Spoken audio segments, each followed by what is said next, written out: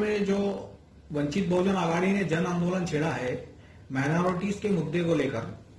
और यही मुद्दा एमआईएम भी लेकर चल रही है क्या ये दोनों में कुछ संघर्ष चल रहा है? देखिए कोई भी मुद्दा जो होता है वो आवाम का मुद्दा होता है किसी पार्टी के लिए नहीं रहता है। आ, मुझे लगता है कि कांग्रेस और एनसीपी ने चुनाव में विधानसभा 2019 के चुनाव में ये कहा था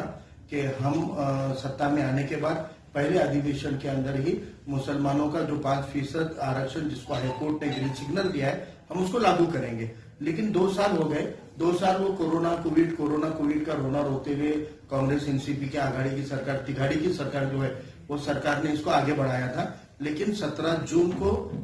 30 जून को आदरणीय बाड़ा साहब अंबेडकर साहब ने प्रेस कॉन्फ्रेंस लेके डिक्लेयर किया कि मुस्लिम आरक्षण के ऊपर और नबी करीम सल्लल्लाहु अलैहि वसल्लम की शान में गुस्ताखी करने वालों के खिलाफ एक कड़े कानून का बिल ड्राफ्ट बनाकर आदरणीय बाड़ा साहब ने ये दिया था। और आमदार प्रकाश आमदार कपिल पाटिल साहब जो है, उनके ज़रिए वो असेंबली में दाखिल भी किया पाँच जुलाई को। और पाँच जुलाई को वंचित बहुजन आघाड़ी शायद 2019 के विधानसभा चुनाव के बाद में शायद वंचित बहुजन आघाड़ी अल्लाह की फजल से पहला ऐसा राजनीतिक फ्रंट है, या पॉलिटिकल पार्टी है, जिसने मुस्लिम रिजर्वेशन के लिए और बेहरमती के खिलाफ कानून के लिए मुंबई के विधान भवन के ऊपर मोर्चा निकाला था, उस मोर्चे को अड़ाया गया था और हमारे हज़ारों कार्यकर्ताओं को एलोगेट पुलिस स्टेशन और आठ मुख्तलिफ़ पुलिस स्टेशन के अंदर कैद किया गया था। तो हमारी लड़ाई जो है, वो पाँच जुलाई से शुरू हो चुकी है। मुख्तलिफ़ जिलों में, मुख्तलिफ़ वक्त में, मुख्तलिफ़ हमारे एहतजाज इन्हीं मौजूद के ऊपर हुए। आपके औरंगाबाद में भी हमारे दो महीने पहले एक बड़ा एहतजाज हमारा रेवेन्यू डिवीज़न पे रहा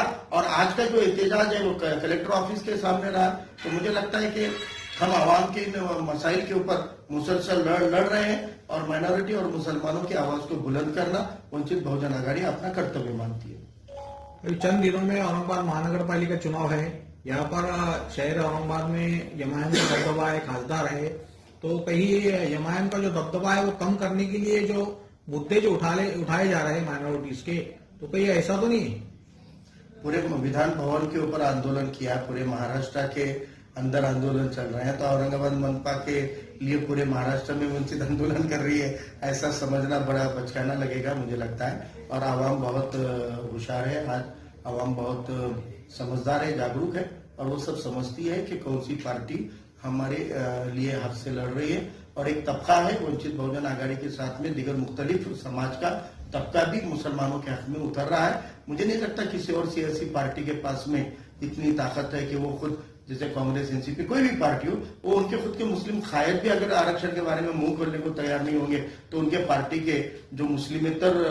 लीडर है, वो तो बोलेंगे ही नहीं। और कोई और पार्टी मुसलमानों के इन मसलों के लिए जो नबी के शान में गुस्ताखी के खिलाफ कानून बनाने का मामला हो या मुसलमानों का हाईकोर्ट से मिला हुआ रिजर्वेशन दिलाने का हो कि सिवाय मुसलमानों की किसी और तबके को जोड़ने का दमखम अगर आज अलहमदुल्ला महाराष्ट्र में कोई पार्टी रखती है तो वंचित बहुजन आघाड़ी रखती है।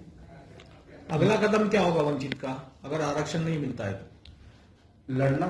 जन आंदोलन का अपना एक स्तर होता है। हमने महाराष्ट्र में मुंबई के टीम को लेकर सिर्फ़ एक झलक दिखाई थी कि सरकार अगर ये दो कानून के ऊपर अगर काम नहीं करती है तो हम बताएँगे। आज हमने बारह तारीख को एक लेटर इशू करके, आज की तारीख में बाईस तारीख को पूरे महाराष्ट्र के तमाम जिला कचेरियों के ऊपर परमिशन का इनकार होने के बावजूद भी आज औरंगाबाद की टीम ने बड़ी हिम्मत और हौसले के साथ में और बड़ी तादाद के साथ में यहाँ पे एहतजाज को कामयाब किया। मुख्तलिफ़ जिलों में हुआ है भीड़ में हुआ है, महाराष्ट्र के नांदेड़, अमरावती और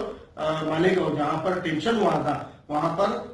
एक फिसाद की नौबत ना आए इसलिए टकराव पैदा ना हो, इसलिए पार्टी ने जहाँ पे टेंशन है, जहाँ पे पुलिस दंगे के इम्कान बता रही है, वहाँ पर हमने पीछे ले, क्योंकि हम आंदोलनकारी है दंगा ही नहीं है। हम आंदोलन करना चाहते हैं, दंगा नहीं करना चाहते भाजपा का काम है। जहाँ टेंशन हुआ है, वहाँ पर भी भाजपा ने आज आंदोलन किया है। क्योंकि वो दंगा ही लोग हैं, उनको तो दंगे ही करने लेकिन हम लोग आंदोलनकारी है इसलिए हमें जहाँ पर भी अमन के साथ एहतजाज हो सकता है परमिशन नकारने के बावजूद भी, अलहमदुल्ला, हमारे महाराष्ट्र में मुख्तलिफ़, तकरीबन पच्चीस से ज़्यादा जिला कचोरियों पर और डेढ़ सौ से ज़्यादा तहसील कचोरियों के ऊपर हमारा एहतजाज हुआ है।